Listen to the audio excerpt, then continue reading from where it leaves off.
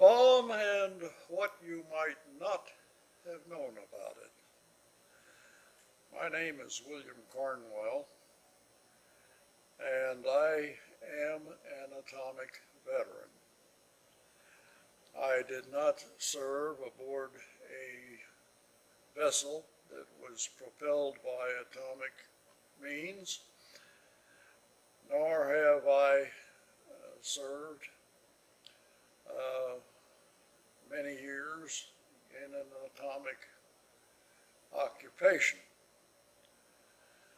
I am ex-Navy, and I gained my license, you might say, to wear the patch of an atomic veteran by spending two weeks in the desert.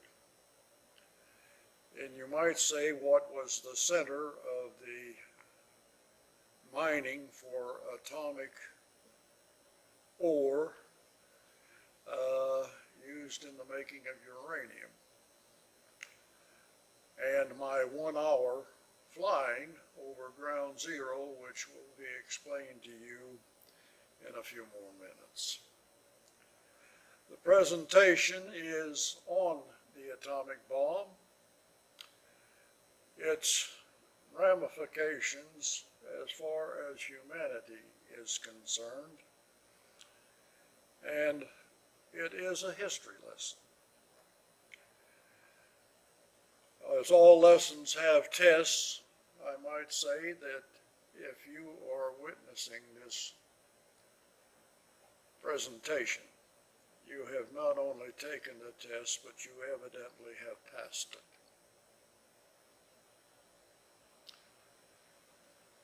During President Roosevelt's last term of office, Roosevelt got his OSS chief to smuggle hundreds of bags of mine ore from the African continent. The mineral, being uraninite, is an ore that produces uranium. Roosevelt was on a tip from Einstein that if an atom could be split, a very great deal of energy would be produced. And if it could be prolonged, it could produce an effect that would be a 100 time more efficient than that many bombs dropped. The president called his secret operation the Manhattan Project. So secret, in fact, the vice president, Harry Truman, had no idea if it existed. When Truman became president of the United States, General Leslie Groves, the head of the unit to produce the uranium, told President Truman about the bomb for the first time. We all know what happened shortly after Truman digested that news. In today's vernacular, those first generation bombs were very dirty, as were all the atom bomb testing done in New Mexico in those days. After the bombs decimated Japan into surrender, Truman set in motion a commission, the Atomic Energy Commission, or AEC, to find out exactly what we had really unleashed. In 1949, the AEC in Washington Los Alamos and Sandia Laboratories of New Mexico formed the nucleus of the official testing unit of all atomic devices existing or proposed. Testing began in 1950 at Nellis Air Force Base in western Nevada in their armament testing area on base, officially becoming the Nevada Test Site, or NTS. Tests continued in the South Pacific through 1962. These pictures depict some of the explosive tests that were conducted during that period of time, with the series name first and the test name second.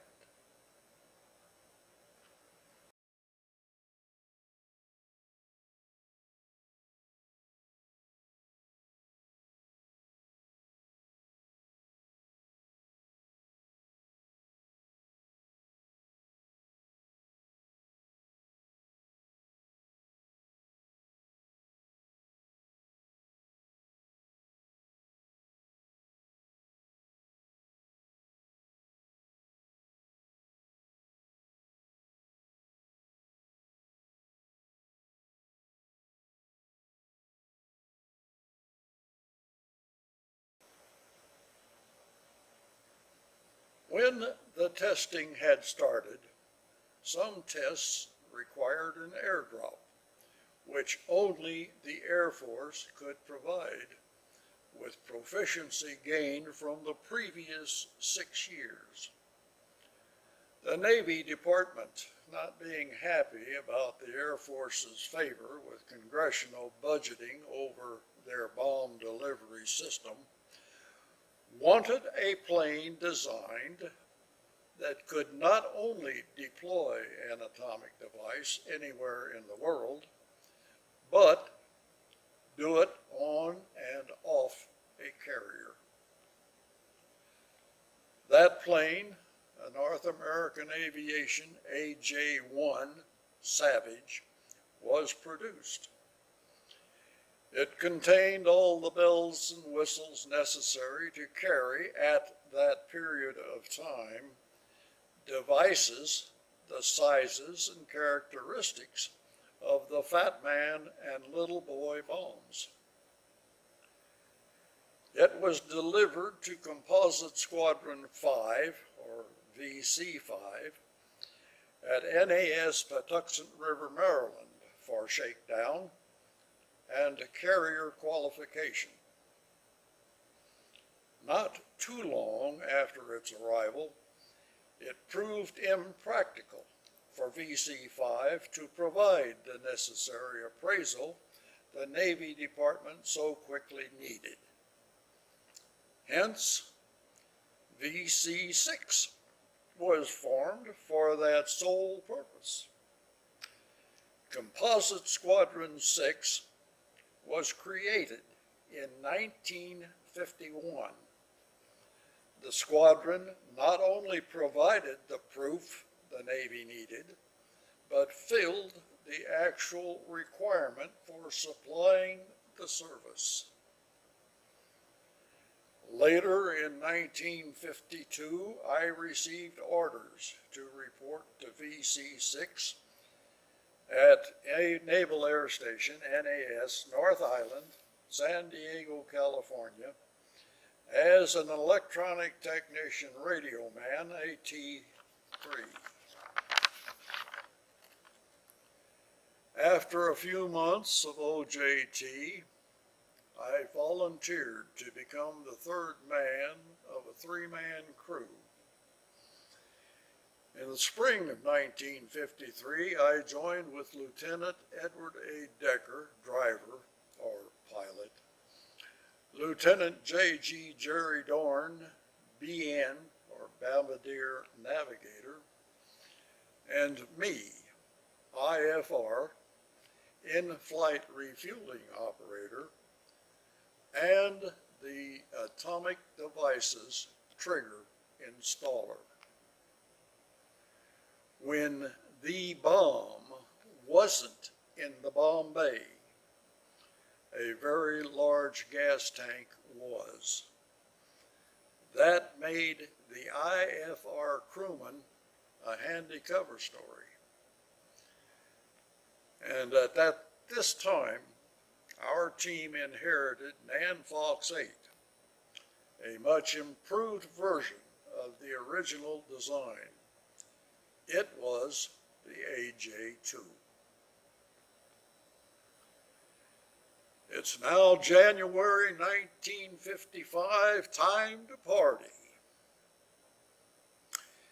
In January of 1955, the AEC invited my squadron to a party, a tea party, and it was to be held at the Nevada testing site, and the bomb test series was called Teapot.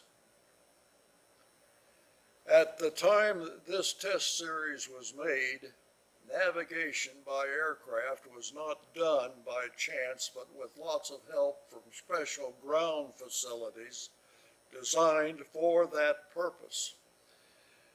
They were VOR sites, or a very high frequency radio transmitter that provided azimuth information 360 degrees.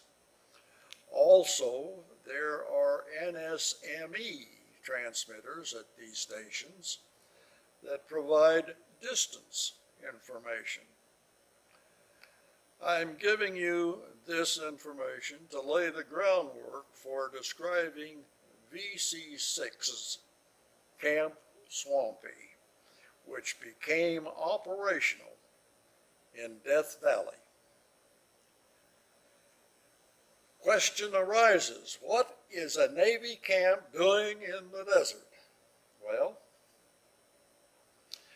to comply with our invitation to party, our planes were to fly from NAS North Island, California to the drop zone, a distance of about 325 miles, and return to North Island. Tests were conducted at all times of the day and the night. Daylight navigation is not as nerve-wracking as night because you can get some visuals to confirm your location. But nothing can compare to a radio nav aid for more accuracy. However, there were no CAA nav aid stations in the path to the test. The closest CAA nav aid equipment to the test was located at Tonopah, Nevada, roughly 95 miles away from the site and 400 plus miles from North Island. So far, so good. The 400 plus miles involved going to Tonopah were not a problem. The problem came from Tonopah to the site. Test timing was paramount at all times. Enter Camp Swampy. The Navy, never to be stymied for solutions, came up with a satisfactory conclusion by providing its own NavAid facility. Technicians from the squadron with equipment for the installation drove through Death Valley to establish the camp with navigational equipment. Not only were the nav aids made available, but included were accommodations for the inhabitants whom were also to operate the systems. Navy know-how, problem solved. VC-6's Camp Swampy, 12 miles from the junction of highways 374 and 95, which was a junction called Beatty, Nevada, and off the road 50 feet you would have found the squadron's version of a navigational facility, U.S. Navy style.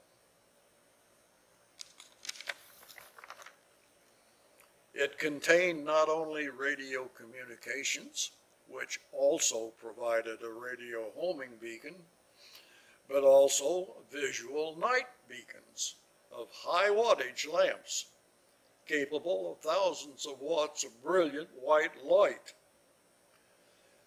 Following are the features and descriptions of the NavAid. It had, somewhere, the following equipment. One truck, 5 by 8 stake bed, six-wheeler, USN. 10 five-gallon jerry cans of gasoline, USN. One 10 kilowatt 110 volt AC, 240 volt AC, 24 volt DC, Westinghouse generator, USN. One wood stove, heating, cooking, USN. Three bags, sleeping, USN. 180 MREs, United States Marine Corps. MREs are meals in cans surrounded by carbide pellets and are actuated by including water. Makes the cans extremely hot and makes the meals inside the cans very palatable. One helium tank full USN. That was to raise the antenna wire attached to a weather balloon. The balloon was up most of the time. The generator furnished lighting for the camp, power for the radio equipment, transceiver and homing signal, and power for the location lamps. When a mission was on and the info was passed from North Island to the camp via low frequency ART-13 at regular check-ins, and the camp would light up if dark and start transmitting the homing signal. Temperatures during the day were high 90s or three digits. Uniform for the day was skivvies and maybe a t-shirt. Sleeping attire consisted of the uniform of the day plus a shirt plus trousers plus socks. At night, the drinking water froze. If the mission was called off, liberty was available for all except one. That person had the duty watch. We could go 12 miles east to Beatty for R&R, or go west about 15 miles where we were invited to Scotty's Castle to shower and shave. What? Why? Beatty, Nevada was the closest town. One general store, Slim's Place, which was a saloon and food, and a gas station, not much else. One day at the camp, we were invaded even in Death Valley, in the middle of nothing, when a vehicle, any vehicle, passes by only 50 feet away from you, you sound general quarters. Well, two vehicles drove by, passed the camp, stopped, backed up, and everyone got out of them. We were informed they were from a San Diego Sunday newspaper heading to Nevada looking into a story for the next Sunday's edition. Well, to a newsman, seeing a gorgeous Navy installation such as ours in the proximity of Death Valley knew something good was going to make their day. The picture you see above shows the newsies filming the heating MREs we were fixing for a meal. We told them we used the method of pouring water from a canteen around the can's perimeter to activate the carbide. I guess their story and our pictures made the Sunday news that week. We probably were next to the uh, comics section. Members from the squadron rotated routinely through the camp at two-week intervals from January through May of 1955. I spent my two weeks in March at the camp and one day in April flying over ground zero. Now you get to hear the rest of the story. Time 0830 squadron ready room suited up for morning briefing and flying. It was April 15, 1955. Nan Fox 8 was going to Nevada. Lieutenant J.G. Dorn and I didn't know the mission. Lieutenant Decker did. He wasn't talking, at least about where, what, when, and why. The flight to Camp Swampy was uneventful. Turning to 090 degrees at the camp, Jerry and I were then told about the activity expected. Operation. Proceed to NTS to arrive by 1130 hours at Angels 36,000 to await 1145 hours. Test met countdown. Circle, ground zero, counterclockwise, 15 mile radius. Do not look at ground until detonation, plus five. Action. When top of cloud pass, passes altitude plus 10, turn into stem and enter. Exit and return NAS North Island direct. My seat faced aft and behind the pilot on the port side of the cockpit. Bombardier navigator seat faced forward and just a little behind pilot.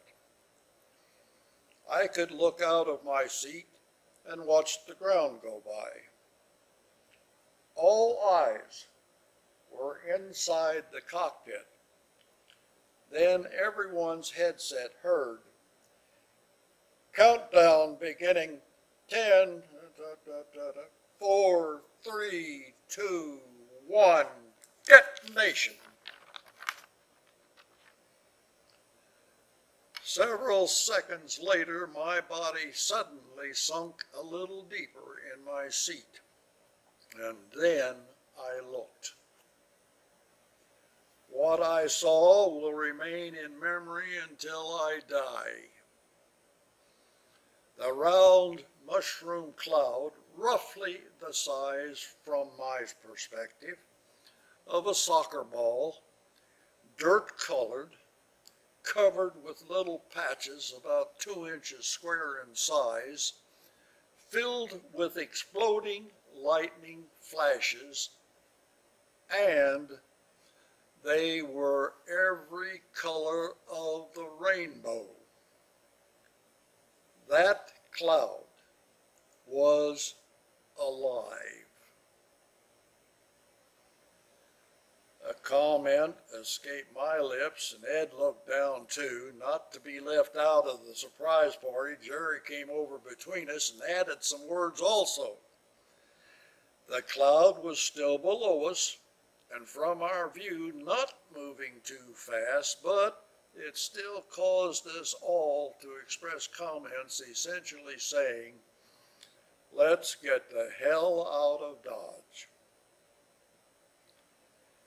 We did a 270 degree turn, headed for home, and a little over an hour later left Nan Fox 8 for a shower and departed the base, saying nothing to each other or anyone else after leaving NTS behind. The next day, I expected to hear from the CO about the episode and our refusal to comply. Nothing. Saw Jerry later, asked if anything was said. Nothing. He did say Ed was up boring holes for somebody, and that was all that ever occurred. Maybe others felt it was a bit screwy too. Seeing the bomb firsthand, attending many schools about how to do my job with atomic bombs, has given me a very strong opinion about their destructive nature. I have searched out every source of information I can get, even during the years of sworn silence.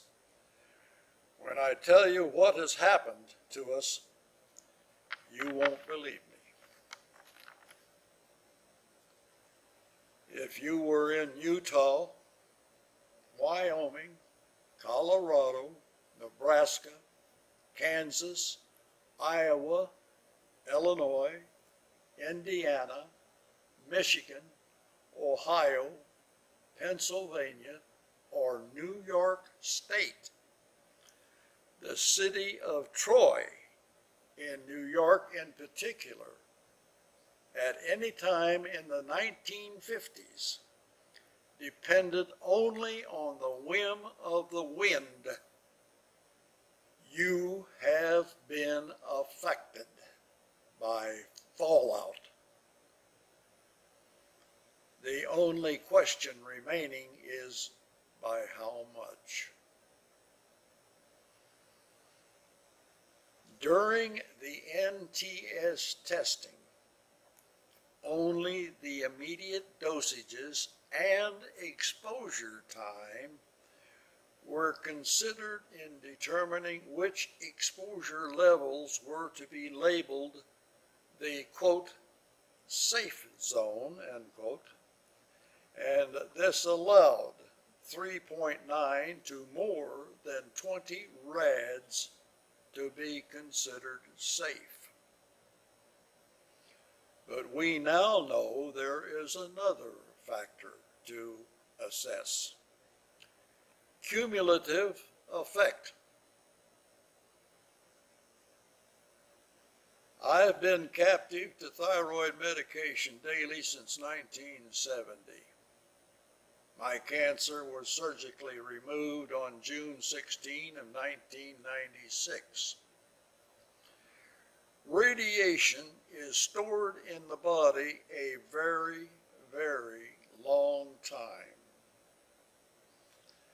Now let me give you another surprise, maybe the scientists from Los Alamos and Sandia knew about this added assessment factor. The test managers were directed to either alter or destroy some reports so as to, quote, to not alarm the populace, end quote. The people of the United States were purposely kept in the dark about one of the most heinous operations ever foisted on them. Government officials used the Cold War for the obfuscation. Since the Freedom of Information Act released me from the threat of imprisonment or even death, I've been on a crusade about this period of history. I want to tell the whole United States citizenry that the soil of the United States and the territories in the South Pacific have received the delivery of the atomic and hydrogen bombs in the past years of more than 500 devices. It seems that no one cares but me. But now, maybe thee. If the radiance of a thousand suns were to burst at once into the sky, that would be like the splendor of the mighty one. Now I am become death, the destroyer of worlds. Those were the words of J. Robert Oppenheimer in 1945 after the Trinity atom bomb test, the first ever nuclear test.